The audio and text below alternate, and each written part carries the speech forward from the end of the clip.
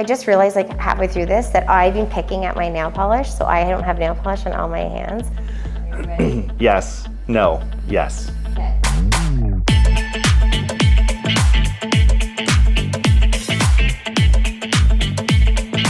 Which do I rather? Yeah. I would pick the smaller house on the better street.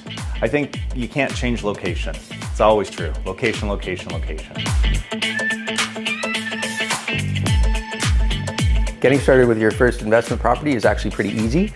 Uh, you can look at inexpensive properties that might be converted single family dwellings, so duplexes, triplexes, and then if you go back to the model where investing in something that's a good property is one that breaks even is essentially what you try to aim for. So after all your expenses and your carrying costs and your mortgage, if it breaks even, that's kind of the benchmark. And if it cash flows, even better.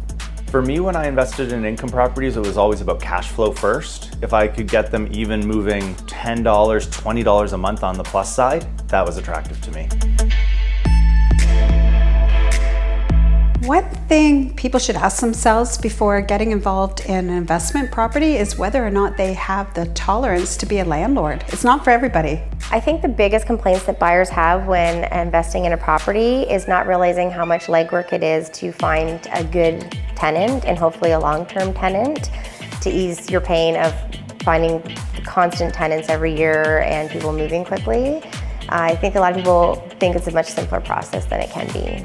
Being a potential landlord, I would definitely suggest you should be aware of the landlord tenant board and what rights and obligations you have.